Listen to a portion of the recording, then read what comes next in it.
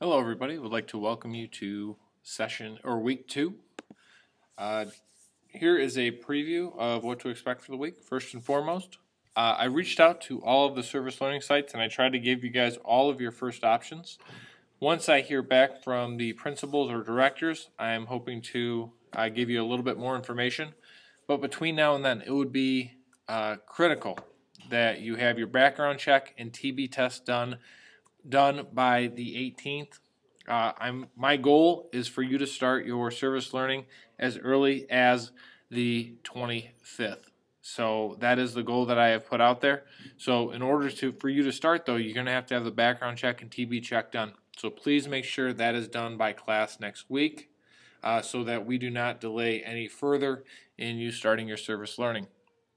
Looking at the guided questions and readings for the week.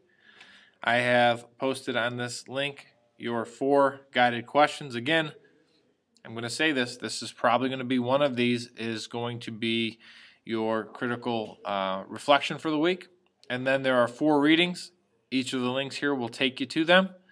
And then uh, just to let you know, uh, please take a look at this expectations for professional, professional and disposition statement. You will need a hard copy of this uh, print it out and signed, and please hand that in to Robbie at the start of class. If you have any questions between now and then, please don't hesitate to reach out. Hope you guys have a great week. Thanks a lot.